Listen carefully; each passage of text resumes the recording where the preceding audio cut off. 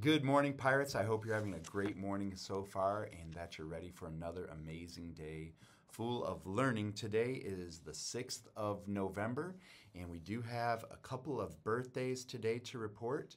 Um, our first one, fifth grader from Miss Cromer's class, Mrs. Cromer's class. There she is, Mila Cashbaugh. Uh, Mila is turning 11 today, so happy birthday to you, um, Mila. And then also, we have a birthday, Lake Ensign. He's also turning 11. He's a fifth grader, Mr. Farr's homeroom.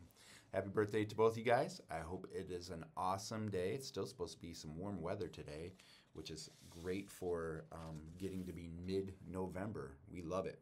Today for lunch, we're having mini corn dogs with mini carrots and strawberries. And this month, we're talking about trust, part of our Trust Don't Connect, and trusting in yourselves.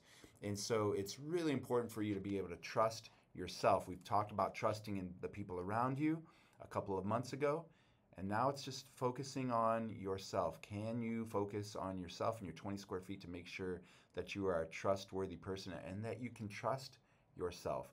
So trust yourself to try new things, even if they seem hard. Today's Wednesday. It's one of those days where you might be learning a lot of new material, which is great. That's why you're here. That's what we want you to do is to get better and better and better as a human being.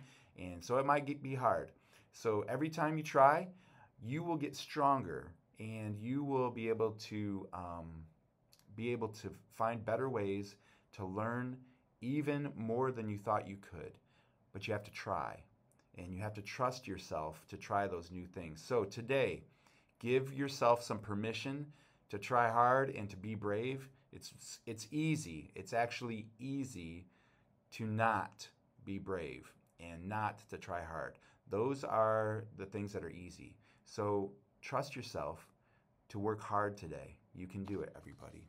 Awesome.